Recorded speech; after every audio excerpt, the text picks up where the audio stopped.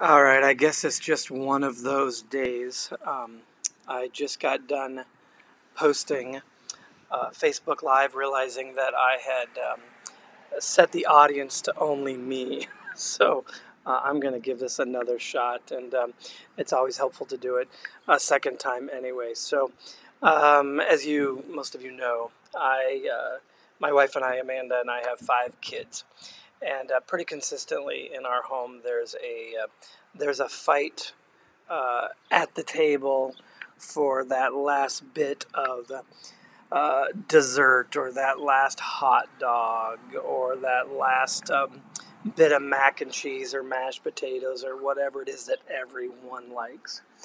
And pretty consistently being the um, selfish sovereign dad that I am, I think in my mind, I paid for that food.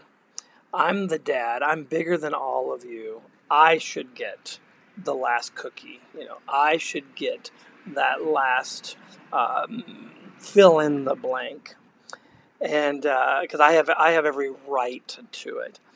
And uh, I would say that um, most of the time, uh, I am uh, good about uh, at least sharing it with the kids. But um, there have been many times when um, I'm pretty selfish and I'm like, no, I want that, so I'm going to eat it. Can I have every right to do to have that? And uh, I think that in today's culture right now, I think we're all so tempted and struggling with the fact that we have every right to do what we think should happen. Well, we have right now a lot of um, inc- incredible opportunity to disagree on so many different issues. Um, in fact, I was going to um, share with you just some thoughts from our scripture reading, but God laid this on my heart instead because of the, the situation we're in as a culture today.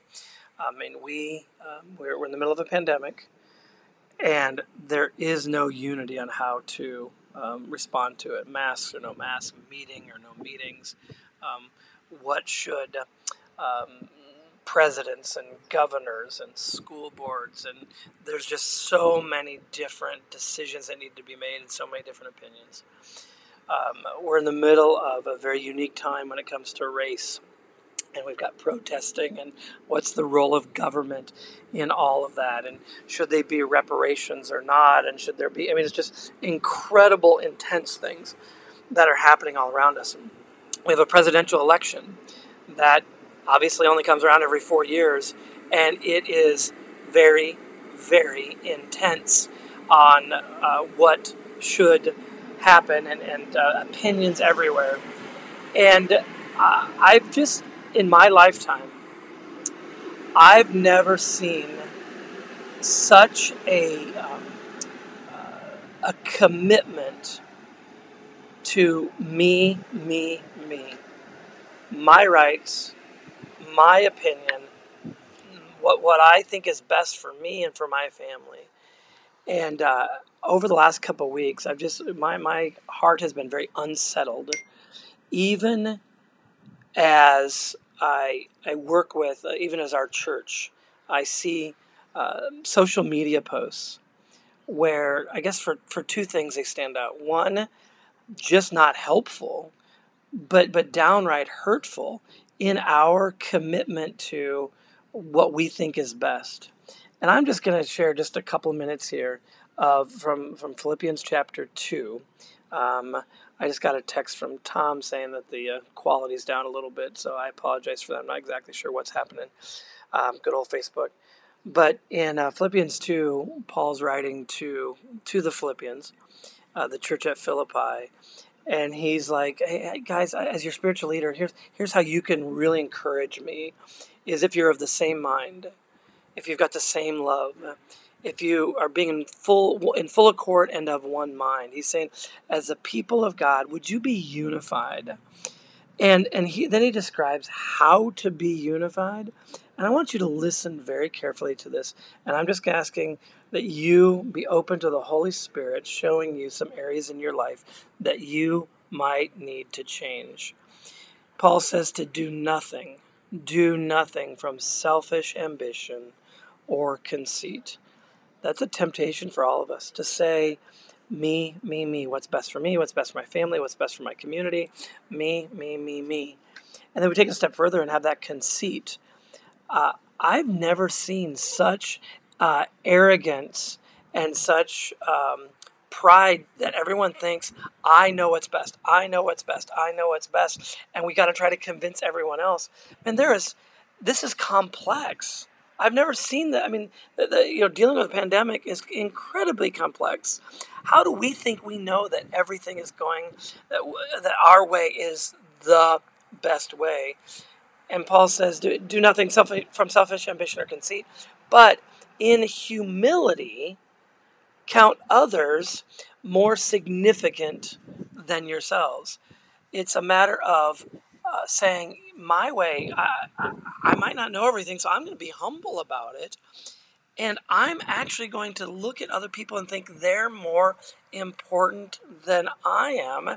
And that leads us in verse 4 to say, Let each of you look not only to his own interests, but also to the interests of others. I'm just challenging you. Are your actions, your words, with those around you, maybe it's your workplace, maybe it's your community, your neighborhood, but I'm going to specifically hone in on social media. We have all have keyboard courage. It is so much easier to just post something that we don't even stop to think how hurtful that could be to somebody else. Now, as I kind of started this out, you have every right to do that. We all have every right. Free speech, we live in a great country to be able to do that. But is that going to be helpful? Is that going to be encouraging to those around you? And would you would you say those things that you put on social media directly to the, your brothers and sisters in Christ who have a different perspective than you? I mean, conversation is one thing, but eh, social media is not an effective means of communication. And so I'm just kind of calling us all out and saying a timeout here is should we be doing some, some things differently because of a passage like this? And, and the, the truth is, we actually have an example, uh, somebody who's telling, who's shown us how to do this, and that's Jesus. Because verse 5 says, Have this mind among yourselves, which is yours in Christ Jesus. And it goes down in verses 6 through 11 describing how, you know, he he was actually a uh, he had every right to uh, it says do not count equality with God a thing to be grasped, but he emptied himself and took the form of a servant servant that led to his death on a cross for your sin and for my sin. He gave up his rights. And and I think he is the example for that. So I just want to encourage you. Just think through what is what is God telling you? What uh, what are you going to do about a verse like this? Are there th- things in your life, specifically the way you're communicating with others, where you're doing it out of selfish ambition, or you're doing it out of conceit and arrogance, and you're not counting others as more significant than yourselves? Because that's just not the American way. Uh, I think we have to be counter cultural with this. So wrestle through it. If I can encourage you, help you in some way, uh, you let me know. So have a great rest of the week, and we'll chat another time. What are you going to do about it?